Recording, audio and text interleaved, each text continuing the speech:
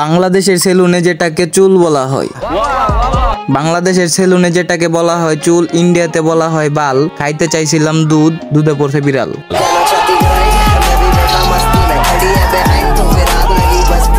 একটা জিনিস কেউ আমার একটু বুঝাইয়া বলল মেয়েটার মুখ তো দেখলাম ভালোই সাদা তাহলে হাতটা কেন কালো? তোর জাদুর নানির হেডা ভিডিও শুরু করবে তো কেমন আছো? তোমরা তো সবাইকে আবারও স্বাগতম আমার আরও একটি নতুন ভিডিওতে। তো আজকে আমরা কোন বিষয় নিয়ে কথা বলতে যাচ্ছি তা তোমরা অলরেডি টাইটেল এবং থাম্বেল দেখে বুঝে গেছো। So without wasting any time নিজের পিছন থেকে আঙ্গুলটা বের করার আজকের ভিডিও শুরু করা যাক।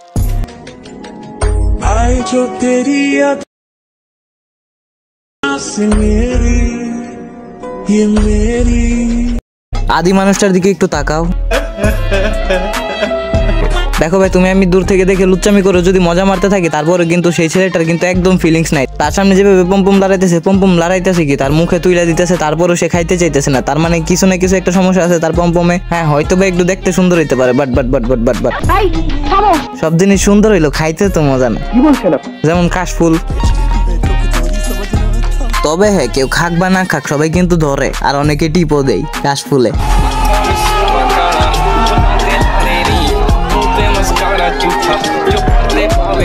ও টেকা ও পাখি তুমি উইরা উইরা আসো উইরা উইরা আইসা তুমি আমার ডালে বসো আপু আপনার টাকাওয়ালা পাখি আসবে অবশ্যই আসবে। তবে তার কাছেও একটা কনফিউশন আছে যে আপনার তো আগে তাকে বলতে হবে যে আপনার তো এখানে ডাইল দুইটা। তো এই ডাল দুটোর মধ্যে কোনটার মধ্যে বসা উচিত এটা তো বলা উচিত তাই না? তাহলে তার কনফিউশনটা একদম দূর হয়ে যায়। নিঃসন্দেহে তুই ঠিক কথা বলেছিস।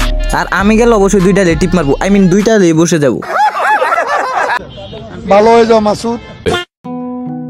যদি কোনো চিত্র আঁকি পৃথিবীর সবচেয়ে দামি। দেখো ভাই তুমি যদি একটা সমুদ্রে যাও তাহলে ওইদিকে যদি পাহাড় না থাকে তাহলে ওই জায়গার কোনো মজা নাই। তবে হ্যাঁ কক্সবাজারের দিকে খুবই কম সংখ্যক পাহাড় আছে যার কারণে ওই জায়গাটা এতটা ফিলিং পাওয়া যায় না। তবে এই আপুটাকে আপনাদের সবার ধন্যবাদ জানানো উচিত কেননা ওনার কারণে দুইটা পাহাড় এক্সট্রা দেখতে পাইতেছেন আপনারা বড় বড় দুইটা পাহাড়। তারা সবাই ধন্যবাদ দাও। Punch punch. দেখো ভাই, বিশ্বাস করা আর না করে, তোমার পুরোপুরি পিছনের ব্যাপার, আমার পিছনের ব্যাপার না। ভাই, গরমের দুজনে মনে করো শার্ট প্যান্ট খুইলা ভিডিও বানাইতেছি। মন চাইতেছি একটু সুইমিং পুলে গিয়ে লাফাই।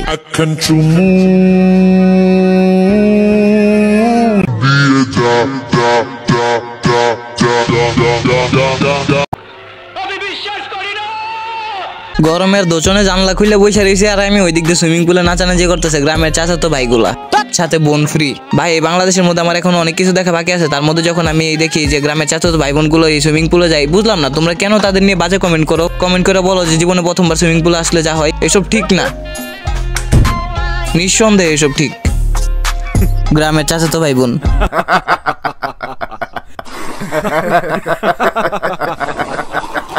ও একটা কথা মনে পড়ছে।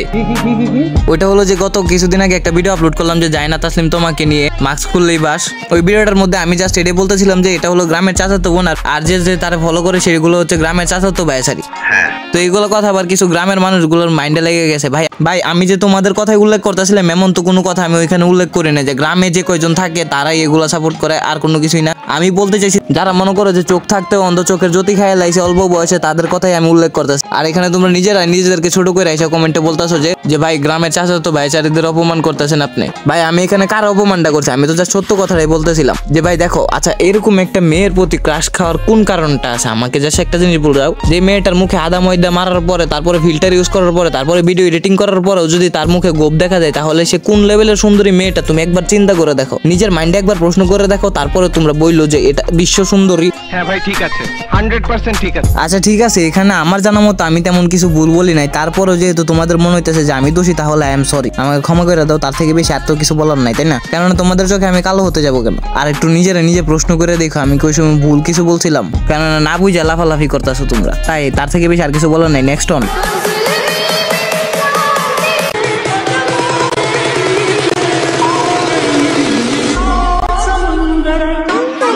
ভাই এই মেয়েটারে কিছু বলার মতো আমি ভাষা পাইতাছি না কেননা তার ফুটবল দুইটা যেভাবে লড়তাছে আমার তো মনে হয় না এরকম ভাবে ফুটবলে মেসি কিক দিতে পারে ভালো কইরা। এই যে এখন আবার অনেকে ভাববে যে মেসির অপমান করতাছি। আসলেই ভাই তোমরা ভাবতেও পারো আমি জাস্ট এমনি তোমাদের হাসানোর জন্য বলছি।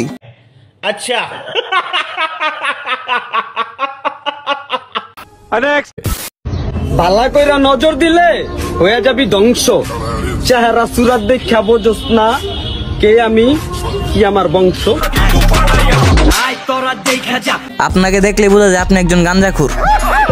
আর আপনার বংশ গাঞ্জাখুর। আপনি হয়তো বা গাঞ্জা সেল করতে গিয়ে ধরা খাইছেন যার কারণে আপনাকে বংশ থেকে বের করে দেওয়া হয়েছে। আর সেই জন্যই আপনি এখানে দাঁড়ায় দাঁড়ায় টিকটক ভিডিও করতেছেন। হ্যাঁ একটা ডায়লগ আমি বলতে চাই গেমিং সুবাহানের মতো করে। তো সুদান নামক একটি দেশের মধ্যে একটি মহিলা চাকরি করতো, তো সেখানে থাকা অবস্থায় একজন লোকের সাথে তার প্রেম হয়ে যায়। আর প্রেমের মধ্যে তাদের শারীরিক সম্পর্ক রেগুলার চলতে থাকে, তো কিছুদিন পরে মেয়েটা প্রেগনেন্ট হয়ে যায়, আর তার বিচারও ম্যাচ শেষ হয়ে পড়ে, তাই তার বাংলাদেশে ফেরত যেতে হয়। তো বাংলাদেশে আসার পরে তার একটা ছেলে সন্তান জন্ম হয়, আর সেই ছেলেকে সবাই নাম দিয়েছে সোদানির ভুয়া।